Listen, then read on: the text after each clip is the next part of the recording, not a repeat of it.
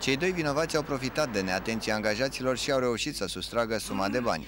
Norocul acestora s-a sfârșit însă la scurt timp, întrucât au fost identificați de un echipaj al jandarmilor chiar în stația de autobuz când se pregăteau să părăsească orașul. În urma verificărilor, jandarmii au stabilit că un minor de 16 ani, ajutat de către un adult de 29 de ani, a intrat în incinta societății, iar dintr-un birou a sustras suma de 1862 de lei din încasările magazinului. Ulterior, cei doi autori s-au deplasat spre o stație de autobuz cu intenția probabilă de a părăsi municipiul Alexandria, moment în care a fost surprins de către un angajat al societății împreună cu jandarmi.